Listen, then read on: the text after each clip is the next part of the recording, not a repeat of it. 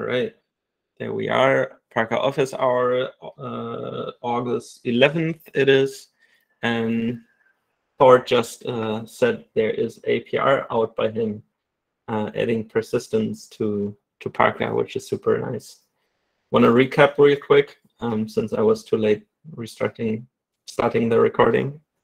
Yep. So basically, this allows you to kill Parca, and it will store the um, the profiling data into the the bucket storage that's set up. Um, the default config we ship with Parca uses just your local file system, um, but you could, in theory, use anything that the object storage uh, bucket package supports. So S3 compatible stuff, um, and then it also drops the meta storage onto local disk as well. But this allows you to start and restart Parca as needed um, and query historical data so it's not lost anymore like it used to. Um, this can be enabled with the new flag dash dash enable persistence. And uh, next time I'll give a demo of it. Remind me. Fair enough. Yeah.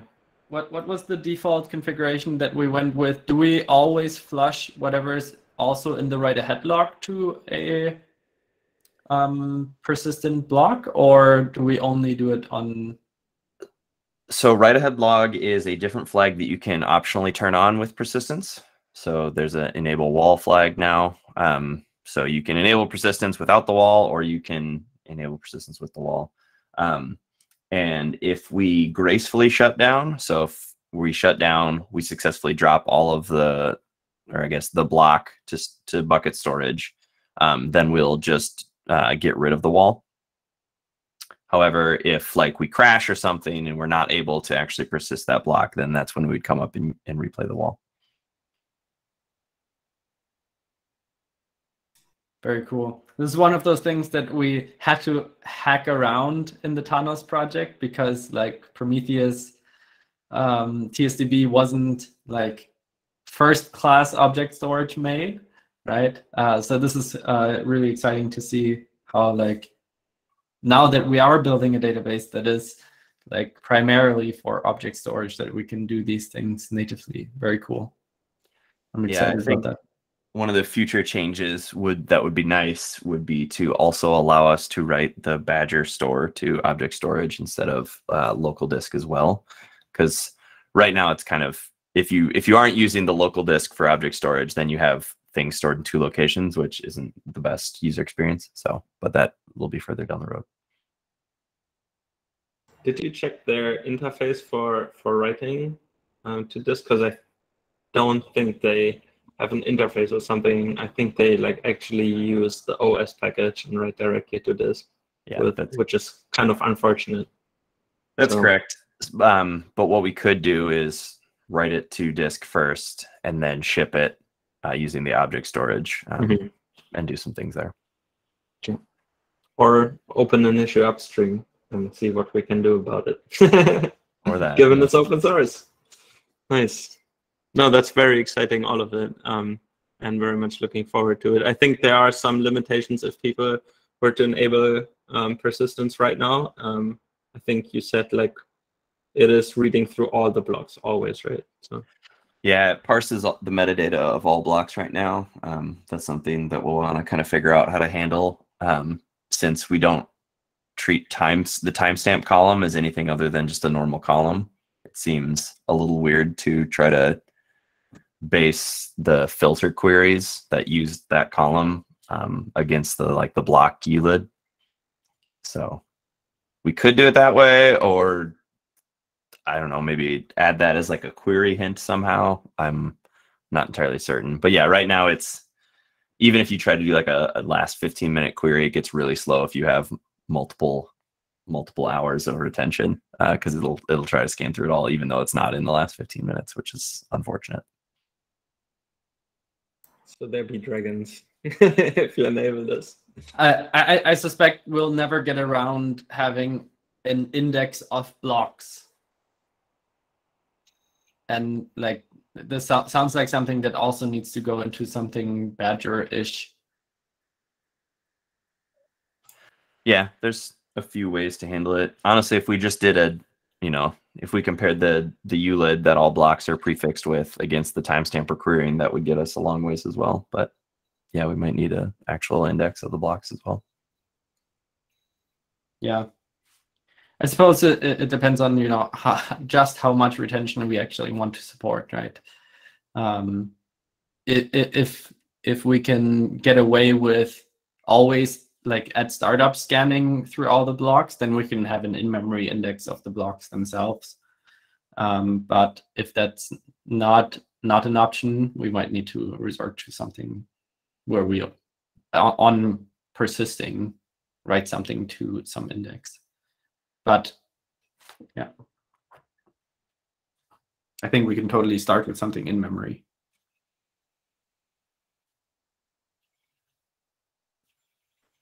Very cool, very cool. Yeah, looking forward to that.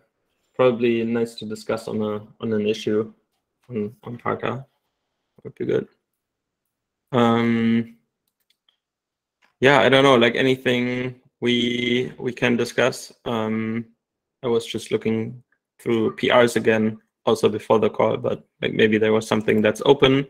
Um, I don't know, uh, Maxime, do you want to discuss anything you added for the pre-commit hook, which was pretty cool?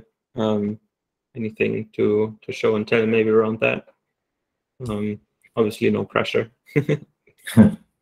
um, yeah, I think I described it in PR for those who didn't see the PR. So just added the pre-commit, simply a framework within Python with a configuration in YAML.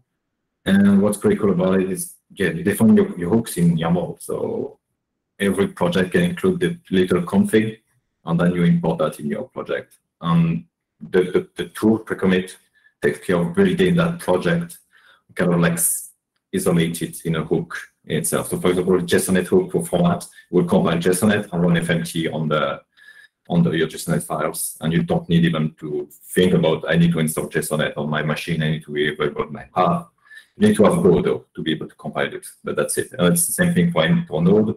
If you don't have Node.js installed on your on your machine, it will download Node.js for the, the hook. and will install all the Node modules in it. Python, it will create a virtual and that's easy for the few languages like that. So I think all the hooks are done. You don't need to think about anything but having pre-commit, Go, and Docker. So some hooks like Haskell, Haskell is not supported by pre-commit, but pre-commit supports Docker, so it puts the Docker image and run the Docker image on your uh, things for the shell scripts, but it uses that. So very handy. Um, it only when you commit, it only runs the hooks you need for the file. So if you commit just JSON files, you won't run the Go hooks. So yeah, very handy. And then you run it in the CI to make sure that everything is good. Yeah, any questions? Or any feedback? Just want to point out how cool it is. I sadly didn't work on on Parca today, so I still need to try it. But any anybody else already uh, run into it, and how did it work out? Know. Thor has been just working on FrostDB, I guess, exclusively but yeah, I'm I'm super excited about this. Um, I, I always set this up like manually in the editor, but this gives us like a um, an equal uh, playground or playing field. I don't know, Thor, correct me. What's the correct word? an equal playing field, I think, um, for for for all the projects, no matter what editor you're using, um, which is which is always good. Um, so it's completely independent. And yeah, as you said, I, I, I, really appreciate that it only runs the the hooks it needs to based on the files that changed. Good stuff.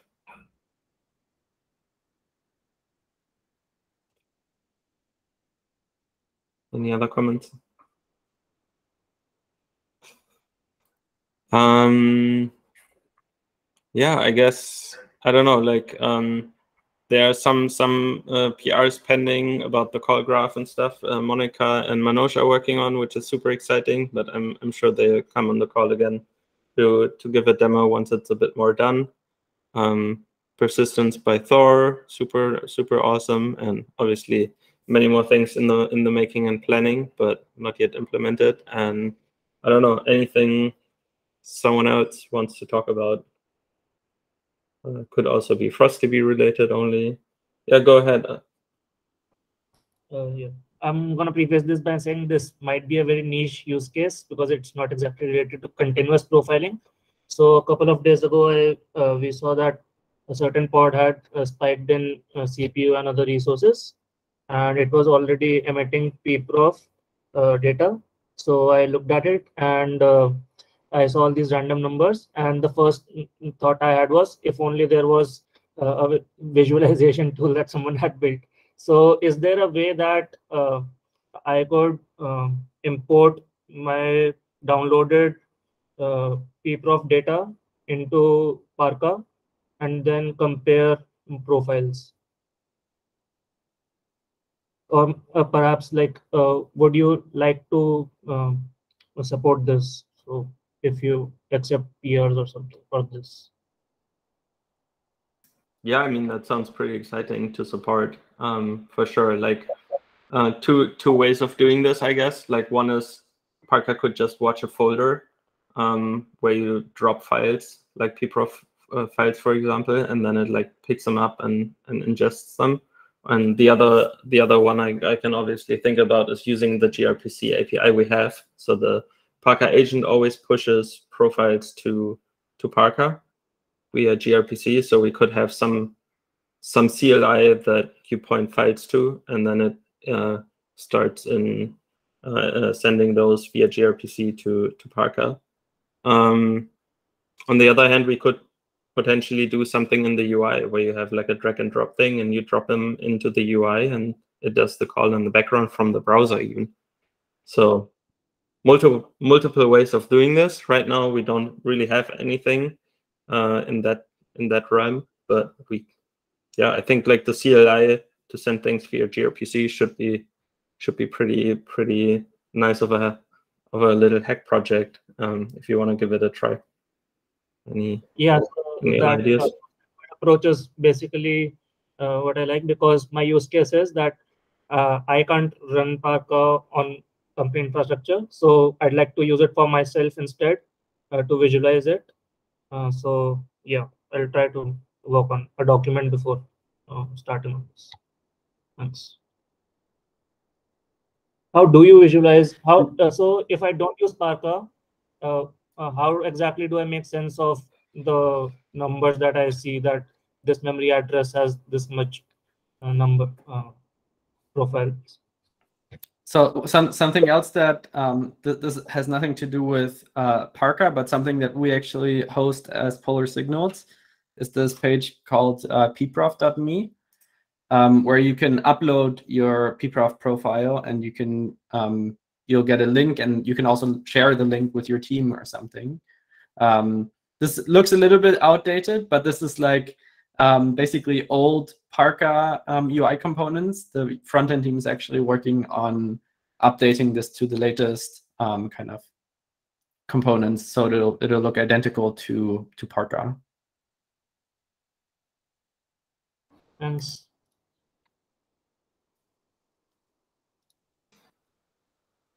I mean, how how how do you retrieve how do you retrieve these these profiles? Do you like port forward to some degree to the debug uh, info, the debug pprof endpoints, or how do you retrieve the the profiles there? Because if if that's what you're doing, you can still like port forward or make like a, a tunnel to those endpoints and then scrape them with a locally running uh, Parca instance, right? That might actually be the Yeah, so easiest that- way. it- that time that uh, simply port forward on debug slash pprof and then download profiles. Yeah, and then yeah, if you if you can do that, then you can even run Parca locally and point Parca to the local local host, and then call in whatever uh, port you're forwarding, and then it will basically continuously scrape the pprof endpoints through that tunnel. Um, if Oh. that's something that's possible for you. Hmm, interesting. I'll So you down. basically have Yeah, Sorry? so basically I'm running so basically I'm running Parca and it's not on any infrastructure that shouldn't have. it. Yeah, nice. Yeah, I mean, yeah, exactly. Like you can run Parca locally and, and point it to anything that's available. And if it happens to be a tunnel, that's that's totally fine. Same is true for Prometheus, for example. If you somehow get a slash metrics endpoint for Prometheus, you can always run a Prometheus locally and and also scrape scrape that endpoint from your local computer as well, and then have it visualized locally. So both works for both Prometheus and, and Parca, for example. But I, I I'm kind of like interested in exploring the possibilities of like dragging and dropping profiles into a locally running Parca via the UI with drag and drop. I don't know. It's more of a fancy UI thing, I guess, but an interesting, an interesting um, and helpful feature for for maybe users who just need something to visualize. I, I do think this could be useful because we have heard that people, you know, don't necessarily want to upload their um, PPF profile to like publicly hosted infrastructure like what we do. Um, so I, I think it could be an interesting use case. Yeah, exactly. Yeah. If you if you want, um, you can open an issue about like importing profiles from the UI or something like that. I think that that would be pretty cool. Um, yeah, and I think I think we, we have like the the gRPC web um, protocol we are using from the UI. It should also be able to just upload profiles as like bytes um, uh, from the UI. So it should be possible. It's mostly a UI thing. Yeah, feel free to open an issue and we'll discuss more in details there. Anything else?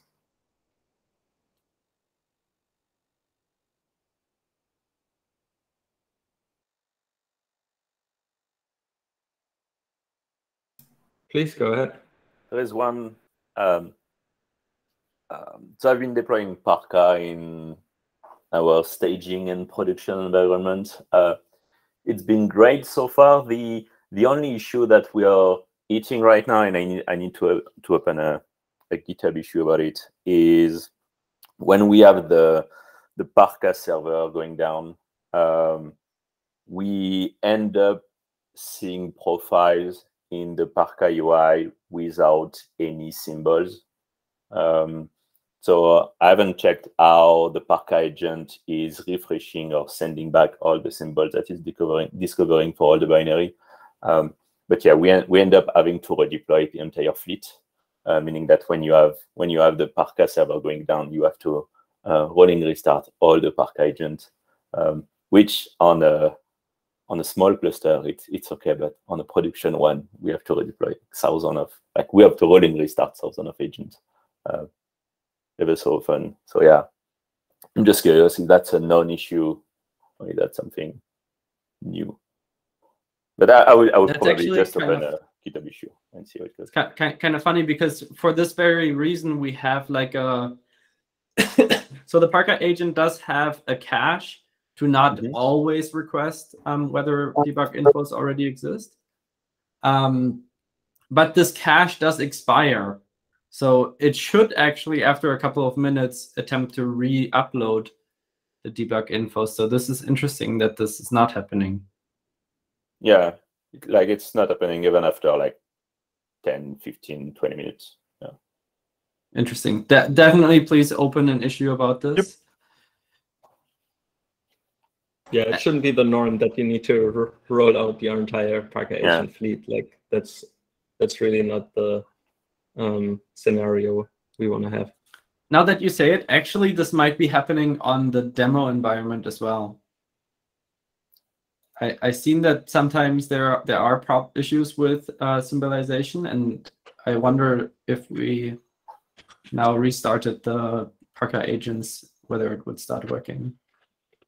Let me try.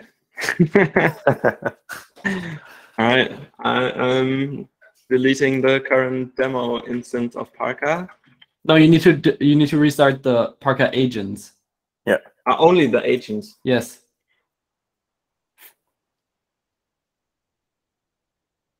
But the the okay, but then then I don't even understand the the cache is only in memory, right? The Or is cache it is the cache is in Parca agents. memory. Yes. So if it like freshly restarts, it doesn't have any cache at all. So That's it right. will- So it so it will definitely attempt to upload. yeah. And then it doesn't. That's really interesting. No, so no. What what what happens? What Julian was saying is that if they then restart Parca, and the debug infos are gone, then Parca agent won't a- attempt to re-upload them. That's how I understood what you were saying, right? Yeah. Yeah, basically, if you have, let's say you have the Parca, everything is running properly, right? And you have the Parca server going down for whatever reason. In, in our case, it's out of memory because the size of the deployment, right?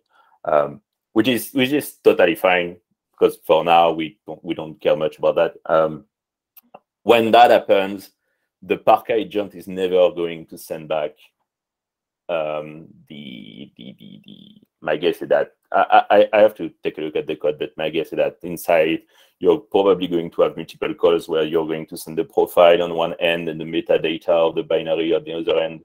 Um, and my guess is that the Parca agent doesn't send back any of the yeah we have the exact same issue. It's never going to send back the the Mhm. symbols and everything from the binary metadata. So you end up with with that. Yeah. And if you restart the Parca agents, it's going to rediscover all the binaries. It's going to refresh the thing. and It's going to send back all the metadata. So so if you restart the package, that works. Yeah. Yeah. Yep. So yeah, that like the the the thing. I don't know. Do you have like Prometheus instrumentation on the Parca server itself? Yeah, yeah, we we we have we have Prometheus everywhere. I- I, I Um, don't think there is. I don't. I didn't look at it, but I, I don't know if there is any metric about refreshing the cache. Maybe there is. Um, Uh, not about refreshing the cache. The the um. but that The might be something I'm- interesting to add on the package and to. Yeah, the, the reason I'm asking is if you then look at the um, the debug info service that has uh, different methods for um, for checking if uh, the debug infos exist um, at all. Um, and then there are the requests uh, to actually upload. So here you can see, okay, let me make it bigger. Uh, here you can see we have uh, done, like after restarting Parca itself, the server, it uh, the Parca agents will um, ask a Parca server again if uh, these de- debug symbols exist. No, that's because No? I just restarted the agents. Okay, interesting. So you did restart the agents. Yes, I just did. Okay. So yeah, So anyway, I all- will- I, all will, I will open it. yeah, okay. Yeah. yeah like like um yeah open the issue for sure um and yeah like what we want to see is that in here the requests are happening i guess so yeah we can see that we we aren't even checking like the caches never expire i guess is what we're seeing because there aren't any requests for for hours and i i guess like this is restarts of Parca agents so we should be at least like every like five minutes or 15 minutes be seeing some some requests so yeah I guess that validates that this is broken. And like if you're seeing seeing the same thing on your your side, then I guess yeah, the caches don't expire. Please open an issue though. Yeah. I, I I just checked the the issue is now resolved. So the the all the symbols that weren't being symbolized before are now symbolized correctly. So this is definitely something wrong here. Thanks for mentioning it. Yeah, for sure. Sure thing.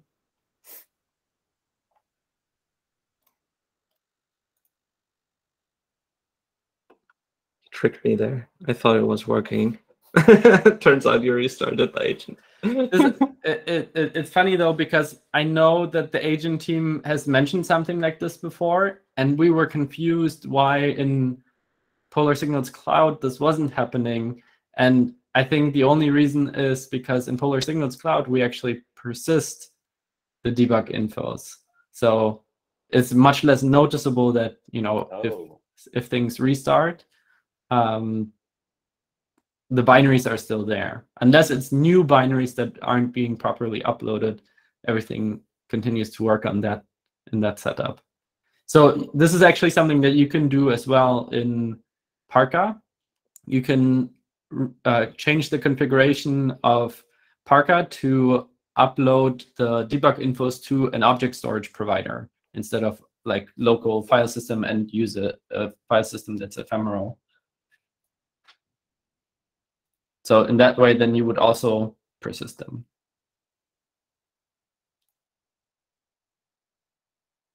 So there seems to be a bug in Parca agent. Nonetheless, Yeah. yes.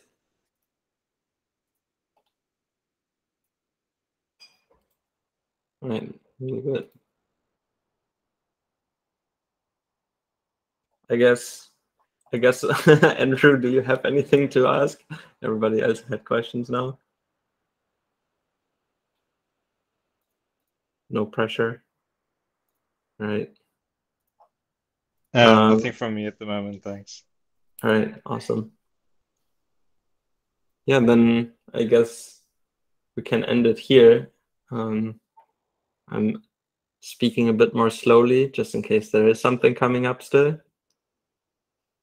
Giving Uh, may- everybody something. May, maybe there is a discussion I would love to get is um, how, like, is there a roadmap, and if so, when, where about what's the next step to, like, because like um, right now FrostDB is going to persist Parquet data and so on and so forth. Um, how do we get from we have the data to we aggregate the data and do some cool stuff with it and send that to I don't know, let's say we aggregate the data, build some more metrics, send that to, to Prometheus and whatnot. Um, is there a do you have a public roadmap about the thing that you are thinking about building um, somewhere, maybe? So we had a retrospective three weeks ago internally, like somewhat unrelated to Parca, but um, one of the action items is for Kemal and I to to work on uh, kind of exposing the roadmaps that are in our minds and that uh, we have like as discussions between ourselves, um, which is not the place to document them.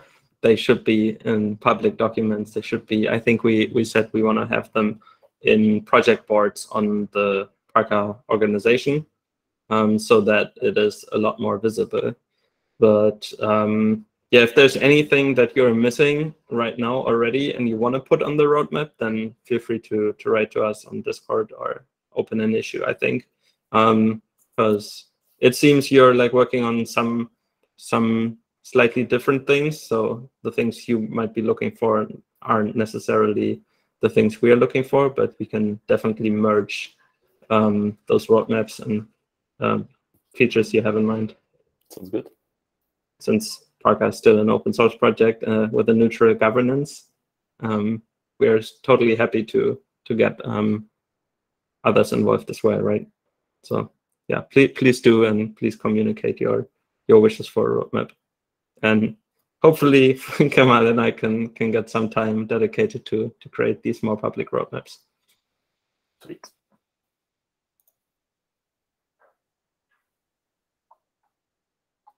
Just want to make sure though that I understood what, what you were asking. Were you asking about a FrostDB roadmap to like use for like, like let's say more general purpose things or Yeah. It, it- it's kind of both things like um, for example now that we have um, let, let, let's say we, we keep moving with continuous profiling and we have this data and we have all of that in, in, in S3 because we use S3 right now. We have all this Parquet data. Now there is opportunities to um, gather some of the information and to help on um, doing some prioritization on the work on the Twilio side. Let's say, for example, it could be very neat to say, give me the, the function that use the most of the CPU in the entire infra so that that's where we should probably focus our time because when we are going to optimize that specific function, we are going to dramatically reduce the CPU time used across the entire org. Um, so this kind of uh, question that I'm very interested to ask once we have the data there and once we can query things. And in the end, the the same query layer or the same way you're going to query the profiling data, you will be able to do to use the same mechanism to to query other data that's coming from FrostDB, right? So, like for example, I'm I'm playing with the POC of putting OpenTelemetry traces into FrostDB. Um, then we can build aggregation and so on and so forth. And the same mechanism to query that data uh, could be used for profiling and tracing, uh, which is very interesting. Then there is things about, um, and then it's getting a bit more fancy, right? Um, like for example, there, there was uh, another profiling tool that was giving you an estimation of the carbon consumption per function, which is very fancy, but that's also the kind of thing that we can build once we have the data and once we can query it, you know? Um, so yeah,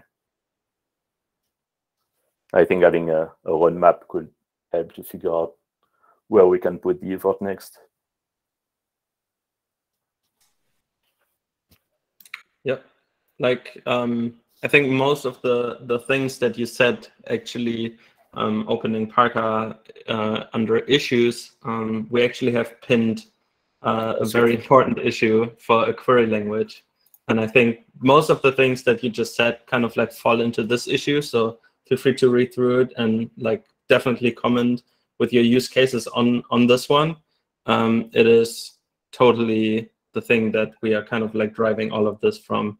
Um, so yeah, like feel free to to add to the conversation, and then I think from that we will derive like like the concrete features and enhancements we need to do to to like a query engine. And super super exciting. Um, we just had a new hire alfonso who started and he's worked on query query engines and optimizations before. So we'll definitely have a lot more um, time and and power being spent on on this problem um, in the next months and weeks yeah, I hope it's easy to find, like just right there, pinned. No, but everything you said makes sense, and yeah, um, we'll definitely want to get to to these things. And uh, again, FrostDB being a general purpose columnar, uh, columnar storage that's embeddable in Go, um, it definitely fits right in.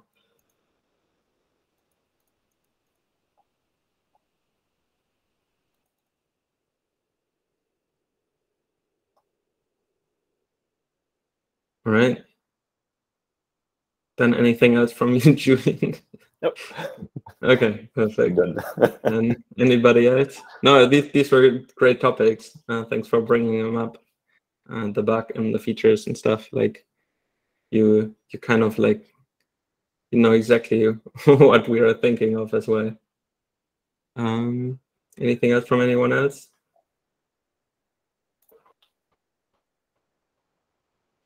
Right, then um, we will see each other in two weeks again. Um, there is going to be uh, an exciting demo that's going to happen for system-wide profiling by Javier. He said he he hopes to to do that demo by then in two weeks. So make sure to to join next time for an exciting demo. I'm really really looking forward to this because um, all of a sudden you can see everything on a host. That will be will be super super dope. Um, and yeah, follow us on Twitter, everything social media wise. And um, yeah, feel free to keep in, in touch during the next two weeks on Discord as well and GitHub issues, PRs, etc. All right. And that's it. Take care, everybody. See ya. Bye for now.